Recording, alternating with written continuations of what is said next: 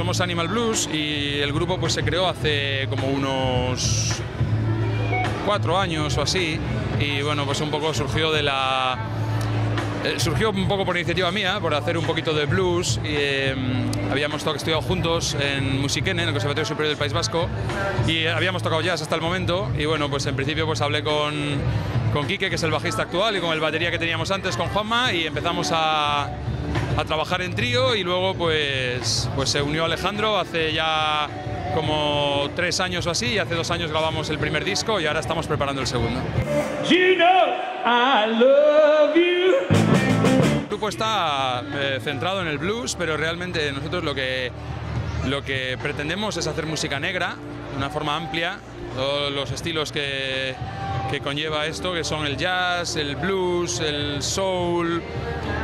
Bueno, hay muchos estilos que tendemos a separarlos mucho y que realmente todos vienen del mismo sitio, de la misma época y que están muy ligados.